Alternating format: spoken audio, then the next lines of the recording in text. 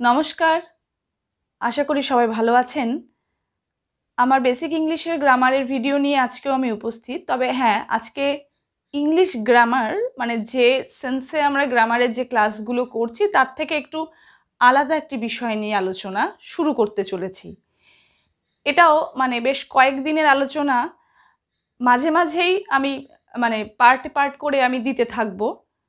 অনেকেই এর মধ্যে আমাকে বলেছেন যে এটা নিয়ে একটা আলোচনা করতে তারা বিভিন্ন কম্পিটিটিভ এক্সামের জন্য একদিকে প্রস্তুত হচ্ছেন, আবার কিছু অভিভাবকদের অনুরোধও আছে যে তাদের ছেলে মেয়েদের জন্য আমি এই বিষয়টা নিয়ে যেন আলোচনা করি। কারণ এখন স্কুলের কোর্সেও এগুলোর একটা ব্যবহার চলে এসছে। তো আলোচনার বিষয়টা আসছি, তার আগে একটা কথা বলি যে আমার আজকের বিষয় হচ্ছে অলঙ্কার নিয়ে। হ্যাঁ অলঙ্কার বলতে এখানে অবশ্যই গয়না নয়, যে আপাতত যে মানে দৃষ্টিতে যে অলঙ্কার বলতে আমরা বুঝি, এখানে হচ্ছে ভাষার অলঙ্কার অর্থাৎ যাকে বলা হয় রেটরিক যেমন অর্নামেন্টস বা জুয়েলারিজ আমাদেরকে বিউটিফাই করে মানে আমরা এদের পরিধান করি নিজেদেরকে বিউটিফাই করার জন্য, সেরকমই ভাষার অলঙ্কার রয়েছে যেগুলো ভাষাকে সুন্দর করে সুন্দর করে তোলে আমাদের কাছে।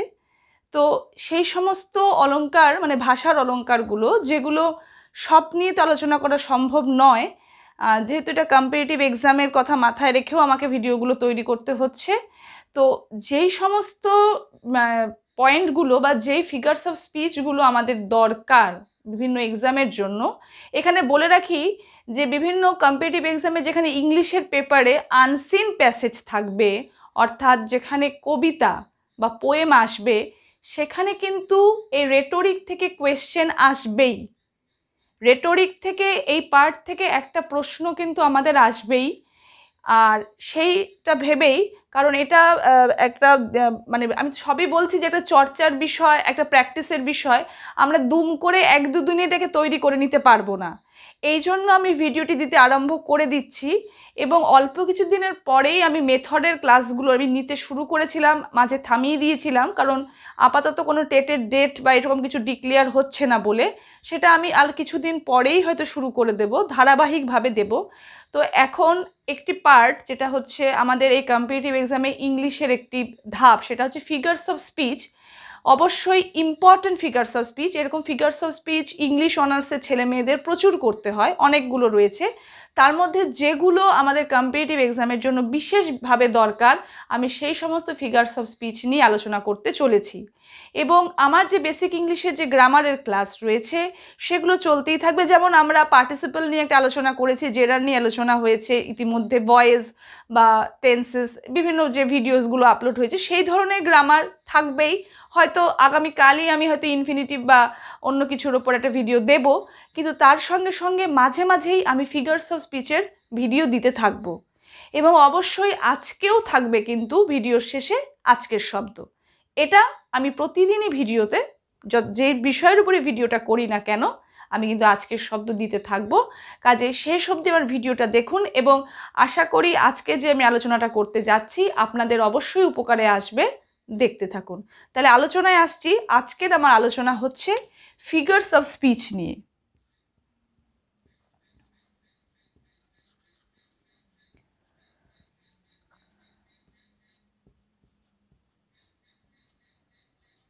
হ্যাঁ ফিগার্স অফ স্পিচ আমি বলছি যে অনেকগুলো রয়েছে ইম্পর্টেন্ট ফিগার্স অফ স্পিচ আজকে যেটা নিয়ে আমি আলোচনা করতে যাচ্ছি, সেটা হচ্ছে কম্প্যারিজনের ওপরে। কম্প্যারিজন মানে তুলনা। এই কম্প্যারিজনের ওপরে যে ইম্পর্টেন্ট দুটো ফিগার্স অফ স্পিচ নিয়ে আজকে আমি আলোচনা করব, সেটা হচ্ছে এক সিমিলি এবং দু নম্বর হচ্ছে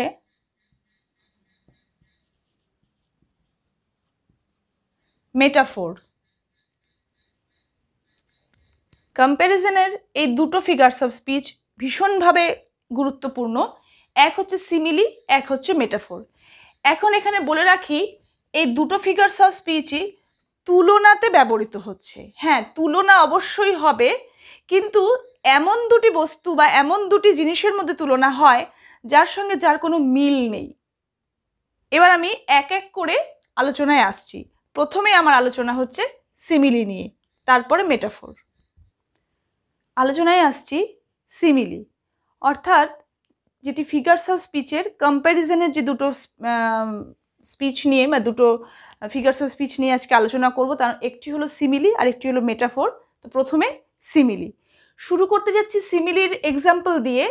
এখানে আমাদের পরীক্ষায় কিন্তু আইডেন্টিফিকেশনই আসবে, অর্থাৎ কবিতার থেকে একটি লাইন সেটা সিমিলি না মেটাফোর কীভাবে আমরা সেটা চিনতে পারব, সেটা শেখাটাই হচ্ছে আমাদের প্রথম কাজ। তো ব্যাপারটা নিয়ে একটু আলোচনা করি। শুরু করতে যাচ্ছি একটি পরিচিত লাইন দিয়ে। I wandered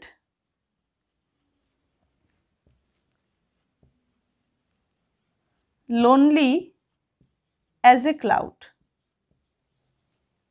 daffodils কবিতার লাইন এখানে কবি বলেছেন যে আমি উদ্দেশ্যহীনভাবে একাকী ঘুরে বেড়াই, ঠিক যেমন একটি মেঘ উদ্দেশ্যহীনভাবে একাকী ঘুরে বেড়া, বেড়ায়।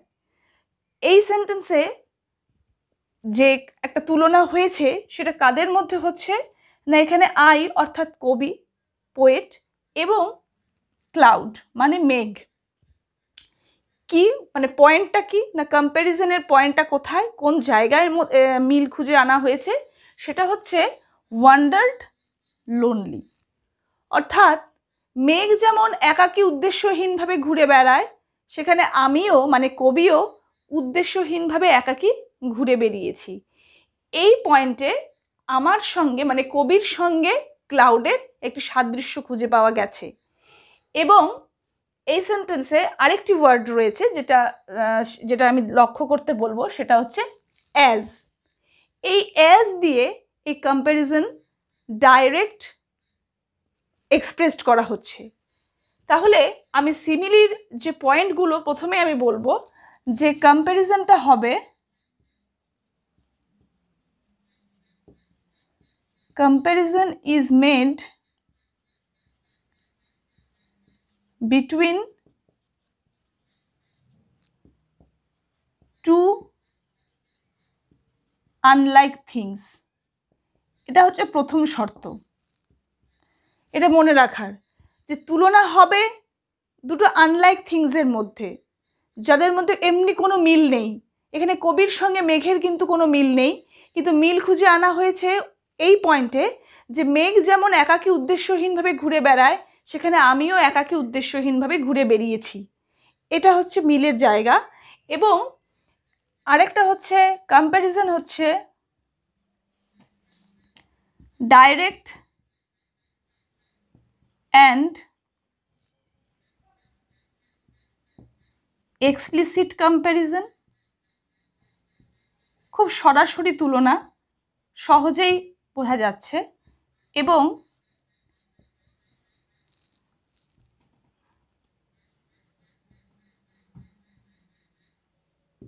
comparison is clearly stated by as like etcetera অর্থাৎ তুলনা খুব পরিষ্কারভাবে প্রকাশ পাচ্ছে অ্যাজ লাইক এই ধরনের কিছু শব্দের সাহায্যে।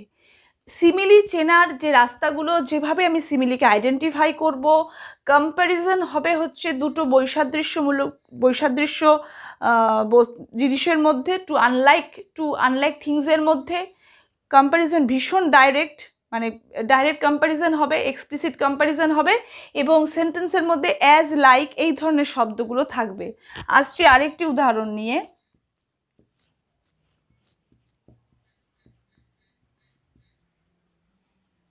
He rode at me like a lion এই সেন্টেন্সেও একটা তুলনা হয়েছে। তুলনা হয়েছে এখানে হি এবং লায়ন দুটো আনলাইক থিংসের মধ্যে। এবং পয়েন্ট অফ কম্প্যারিজনটা কি? সেটা হচ্ছে রোড সিংহ যেমন করে গর্জন করে, সেও আমার প্রতি সেভাবেই গর্জে উঠেছিল। এখানে সিংহের গর্জন এবং ওর গর্জন। দুটোকে মানে সিংহের গর্জনের সঙ্গে এখানে ওর গর্জনকে তুলনা করা হয়েছে। আর এই কম্প্যারিজনটা এক্সপ্লিসিটলি এক্সপ্রেসড এই যে লাইক একটি শব্দ এখানে রয়েছে। খুব সহজেই বুঝতে পারছি যে হি এর সঙ্গে লায়নের একটি তুলনা হয়েছে এবং পয়েন্ট অফ কম্প্যারিজনটা হচ্ছে এখানে মানে যেমন করে সিংহ গর্জন করে, সেও ঠিক আমার প্রতি সেভাবেই গর্জে উঠেছিল। এটা হচ্ছে ব্যাপার। এবং এখানে লাইক এই শব্দটি রয়েছে। আরেকটি উদাহরণ দিচ্ছি। He is as fierce as a tiger এখানে তুলনা হলো এখানে হি এবং টাইগারের সাথে। এবং পয়েন্ট অফ কম্প্যারিজনটা কোথায়? সেটা হচ্ছে ও যেমন, বাঘ যেমন ফিয়ার্সফুল বাঘ যেমন ভয়ঙ্কর, ও তেমন ভয়ঙ্কর। এটা হচ্ছে ব্যাপারটা। তো, আর এখানে আমরা অ্যাজ পাচ্ছি। তাহলে তিনটে আর হি এবং টাইগার দুটো আনলাইক থিংস তাহলে এখন কথা হচ্ছে যে এই সেন্টেন্সটা কি সিমিলির উদাহরণ? যেমন he is as strong as you সে তোমার মতোই শক্তিশালী। তাহলে এটাও কি সিমিলির উদাহরণ? কারণ এখানেও তো একটা তুলনা হয়েছে। হি এবং ইউ এবং অ্যাজও রয়েছে, তাহলে এটা কি সিমিলির উদাহরণ? না, এটা সিমিলির উদাহরণ নয়। তার কারণ সিমিলির যেটা এক নম্বর শর্ত, সেটা হচ্ছে comparison is made between two unlike things এক্ষেত্রে কিন্তু হি এবং ইউ দুজনেই ব্যক্তি। কাজে অনেক, এটা হচ্ছে সাদৃশ্য মানে দুটো একই জাতীয় বস্তু বা একই জাতীয় ব্যক্তির মধ্যে তুলনা ঘটেছে। কিন্তু সিমিলি দুটো বৈসাদৃশ্যমূলক বস্তুর মধ্যে বা টু আনালাইক থিংস বা টু আনলাইক থিংসের মধ্যে হবে।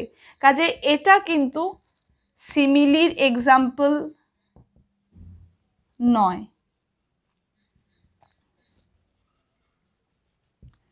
আর এখানে এগুলো সবই কিন্তু সিমিলির উদাহরণ। আশা করছি সিমিলি সম্পর্কে আমাদের ডাউট ক্লিয়ার করতে পেরেছি। এবার আসছি মেটাফোর নিয়ে। এবার মেটাফোর এটিও ফিগার্স মানে কম্প্যারিজনের আরেকটি ফিগার্স অফ স্পিচ এর আগে আলোচনা করলাম সিমিলি নিয়ে, এবার মেটাফোর দিচ্ছি এক্সাম্পল তারপরে আলোচনায় আসছি।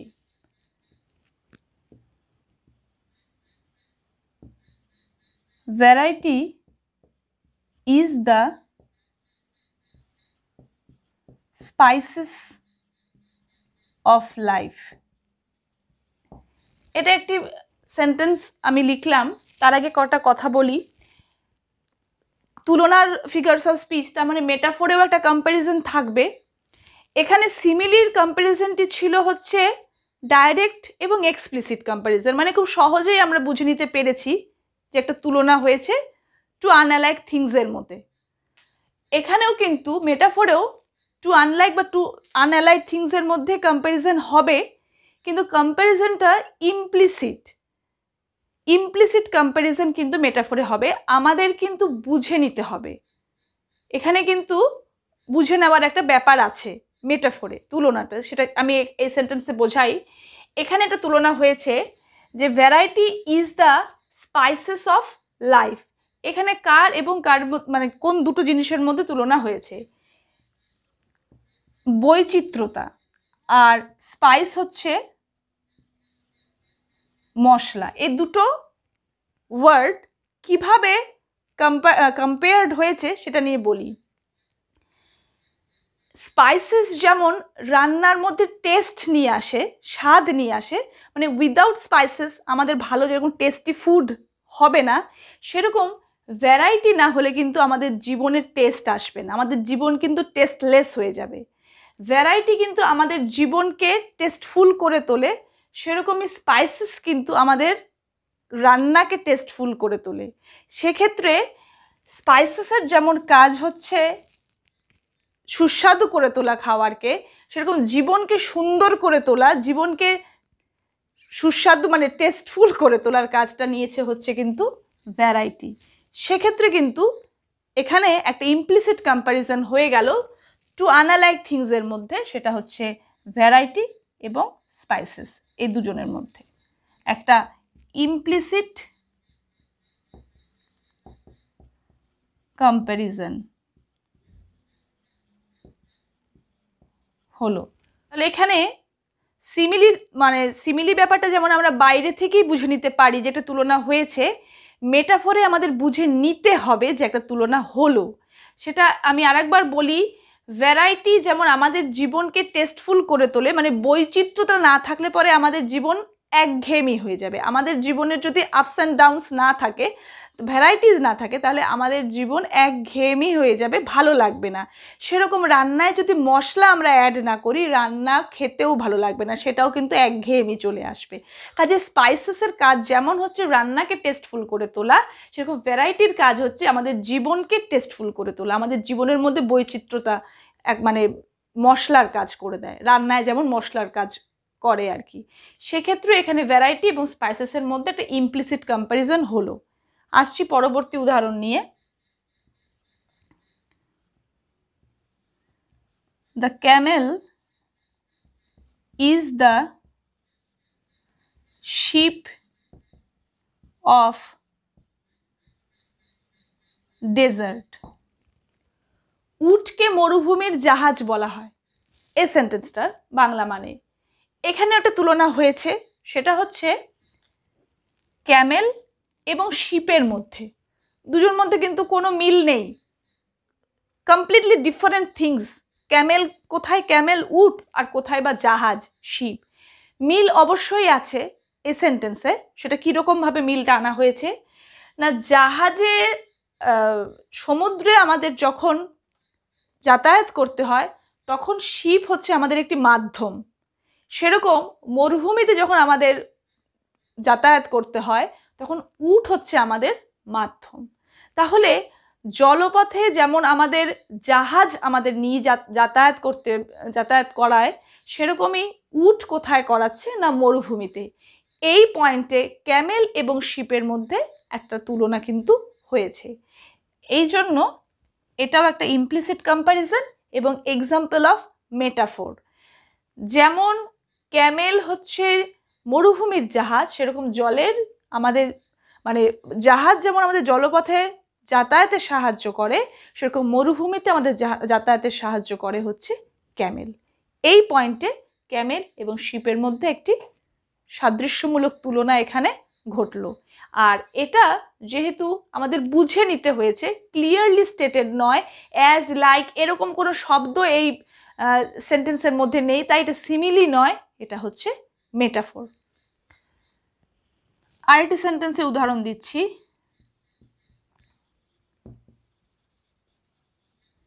Failures are the pillars of success